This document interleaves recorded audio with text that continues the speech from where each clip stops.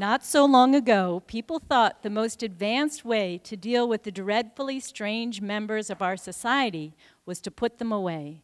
Ladies and gentlemen, 2013 marks the 20th anniversary of Vermont closing its institute for the Institution for the Dreadfully Strange, the Brandon Training School. This is VSA Vermont's Awareness Theater Company. We've been creating theater for 14 years, and my favorite thing is when we go into high schools and these guys get up on stage and perform their own work, and the high school students get to talk with them afterwards. Because everyone has a story. Like Camille. Camille Cardinal is a woman who, when she walks into a room, she scares people if they don't know her. She's big, she's scary, but she gets on stage and she starts lighting up, telling a story about her hamster. Afterwards, everyone wants to touch her. This is Mark Utter. His last name is Utter, U T T E R, but contrary to his name, he is unable to say what he's thinking.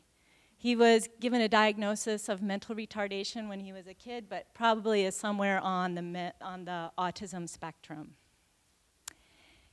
He says, When I was young, I was moored in an inaccessible sea.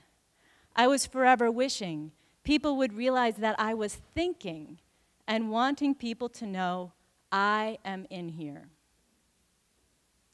About 15 years ago, Mark was introduced to an alternative form of communication called supported typing by Pascal Chang, who's a communication specialist at Howard Center Developmental Services. He's also one of the stars of the movie Wretches and Jabberers, and then the poster is up there on the wall. Supported typing works like this. A trained facilitator sits next to Mark, like me, and puts their hand on someplace on his arm. I put my hand on his elbow. And this allows him to focus so he can, and he says this takes a lot of concentration, slowly type out what he's thinking. About eight years ago, Mark started to come to my office to work on a theater project that would tell his story. Now, I could say I've logged about a thousand hours sitting next to Mark, watching his words slowly come out as he writes this story and starts managing this project. And um, so we have people come in to, to work on this project with us, and they sit down at the computer with us.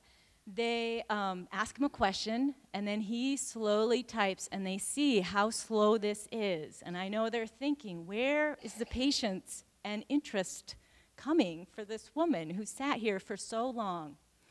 Well, I'd like to introduce you to the men I grew up with. That's my grandfather down at the end, my mother's father. He's got the yellow carnation on his coat. And these men are all deaf. And when they were growing up, they were actually called deaf and dumb. And they went to the Rochester School for the Deaf.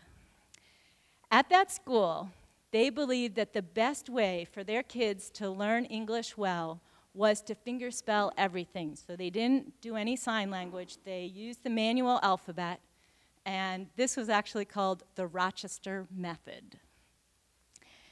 My grandfather was notorious for being the fastest fingerspeller this side of the Mississippi.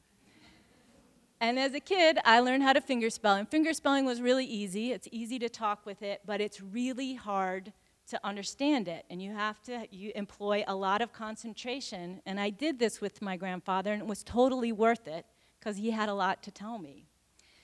At the same time, I would see when my grandfather was out in the community and not with other deaf people, and Mark experiences this a lot too, where people don't know how to deal with him. My grandfather made a lot of noises and sounded different and gestures, and people would kind of close down, and I knew they were missing something. So it gives me great pleasure to say that this eight year project has resulted in a movie called I Am In Here, a view of my daily life with good suggestions from my intelligent mind. And we're premiering it on March 16th at the Main Street Landing for the Performing Arts at 7 p.m. This movie takes you through a day in Mark's life where he experiences a lot of communication obstacles, like this one, in which this guy is getting increasingly frustrated with Mark over a little misunderstanding.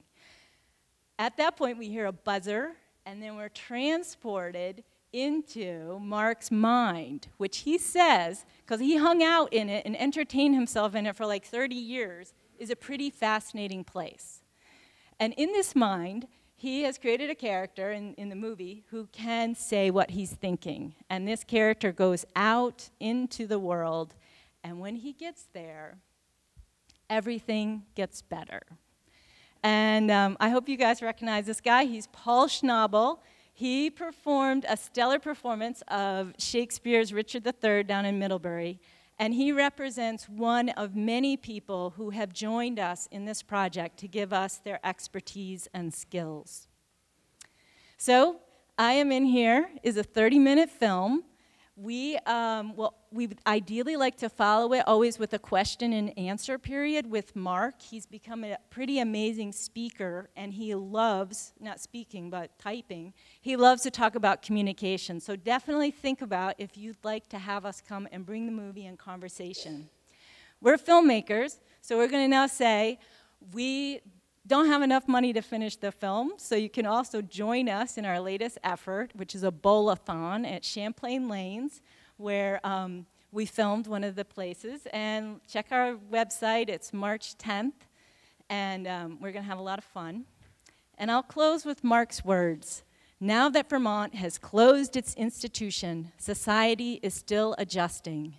The task at hand is for everyone to surrender their wishes for perfection and embrace our different ways of being human. Thank you.